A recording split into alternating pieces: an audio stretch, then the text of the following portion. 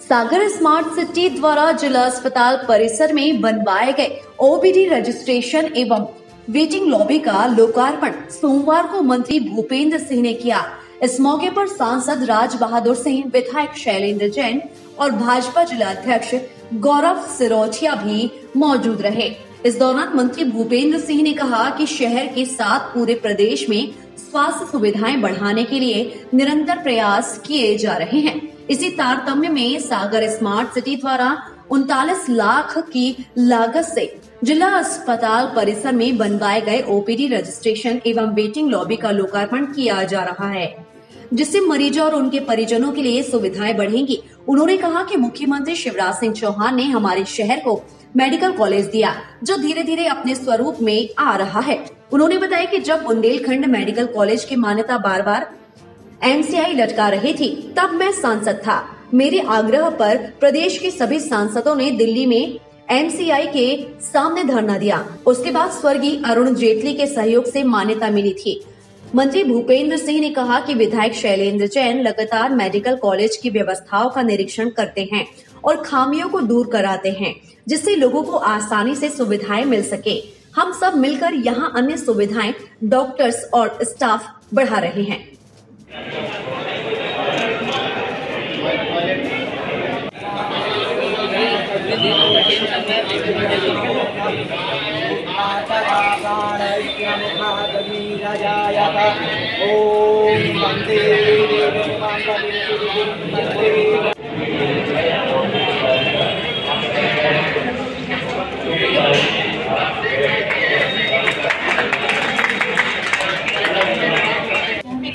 बहुत अच्छा ई registration counter खोल सके। द्वारा उसका लोकार्पण माननीय अतिथियों के कार्यक्रमों से हुआ और अब कार्यक्रम को आगे बढ़ाते हुए हम अतिथियों के सम्मान के क्रम को यहाँ प्राप्त करना चाहेंगे।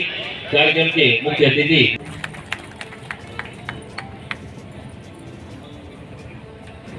स्वागत civil surgeon madam doctor Jyoti Chauhan ji से आग्रह करूँगा कार्यक्रम के मुख्य अतिथि माननीय जिससे लोगों को सुविधाएँ बढ़ेंगी सुविधाएँ मिलेंगी। सागर में मेडिकल सुविधाओं के लिए हम लोग लगातार प्रयास करते रहे हैं और जब मध्य प्रदेश में भारतीय जनता पार्टी की सरकार बनी, माननीय शिवराज सिंह जी मुख्यमंत्री बने, उस समय हम सब लोगों ने उनको सागर बुलाया था। और हम लोगों ने कहा था कि हमारे बुंदेलखंड की एक ही मांग है, और वो सागर में मेडिकल कॉलेज। उस समय माननीय मुख्यमंत्री जी ने मेडिकल कॉलेज की घोषणा की। लगभग 500 करोड़ की लागत से मेडिकल कॉलेज बना, उसका नाम भी हम लोगों ने बुंदेलखंड मेडिकल कॉलेज रखा क्योंकि हमारे बुंदेलखंड का ये मुख्यालय है। और मेडिकल कॉलेज धीरे धीरे अपने स्वरूप में आ रहा है। शुरू में जब मैं सांसद था उस समय मेडिकल कॉलेज की मान्यता को लेकर काफ़ी दिक्कतें आई। और उस समय जो एमसीआई के चेयरमैन थे, वो मान्यता में काफ़ी दिक्कत कर रहे थे। मैं उस समय सांसद था और हम लोगों ने सभी मध्य प्रदेश के जितने सांसद थे, मैंने सबसे आग्रह किया कि हम लोगों को एमसीआई दफ्तर पर दिल्ली में धरना देना है। और हमारे सभी मध्य प्रदेश के सांसद और मैं, हम लोग वहाँ एमसीआई ऑफ़िस गए और एमसीआई ऑफ़िस के बाहर हम लोगों ने धरना दिया। और धरना भी इतना प्रभावी था कि हम लोगों ने एक तो हमारे सांसद में से पेशेंट बना के उनको ड्रिप लगा के वहाँ सामने लिटाया। तो इसका इतना मैसेज गया, दिल्ली का पूरा मीडिया था। और फिर वो जो एमसीआई के उस समय चेयरमैन थे उनने कुछ लोगों को अप्रोच किया कि इन लोगों से बातचीत करो, मैं मान्यता देने को तैयार हूँ। और इस तरह से हमारे मेडिकल कॉलेज को उस समय मान्यता मिली। और वो मान्यता भी जो मिली, उसके पीछे स्वर्गीय अरुण जेटली। और इसलिए दिक्कतें आई थी, पर अब मेडिकल कॉलेज बहुत अच्छा चल रहा है। और हमारे सैलन जी तो लगभग हर ही दिन मेडिकल कॉलेज डिस्ट्रिक्ट हॉस्पिटल आते हैं। तो एक वो भी डॉक्टरी जैसे हो गए। बहुत ध्यान देते हैं वो और देना भी चाहिए। हमारा मेडिकल कॉलेज जो है, उसमें अभी भी बहुत काम करने की आवश्यकता है। हम लोग समय समय पे बैठेंगे और बैठकर मेडिकल कॉलेज में और जो आवश्यकताएँ हैं, चाहे वो डॉक्टर्स हों, प्रोफेसर हों, जो भी हों वो व्यवस्थाएँ हम लोग लगातार कर रहे हैं। सैलन जी भी लगातार इस बात को विधानसभा में भी, बाकी जगह भी, मंत्रियों से भी, मुख्यमंत्री से भी सबसे बात करते रहते हैं। और हम सब लोग मिलकर इस बात का प्रयास कर रहे हैं कि हमारा मेडिकल कॉलेज, एक अच्छा मेडिकल कॉलेज के रूप में हो जाए और वो धीरे धीरे स्वरूप में आ रहा समय लगता है। दूसरा, हमारे प्रदेश के और देश के अंदर मेडिकल की फैसिलिटी बढ़े, मेडिकल की सुविधाएँ बढ़े। और इसके लिए ज़रूरी है कि नए नए मेडिकल कॉलेज खुले।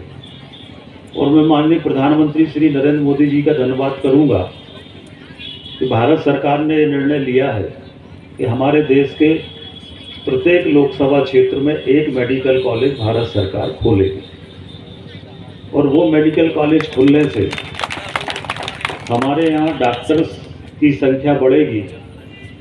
और डॉक्टर्स की संख्या बढ़ेगी तो हमारे यहाँ अच्छी मेडिकल फैसिलिटी हो पाएगी। अभी डॉक्टर्स की जो कमी है, वो कमी इससे कम होगी और इसलिए पूरे देश में नए नए मेडिकल कॉलेज खोल रहे हैं।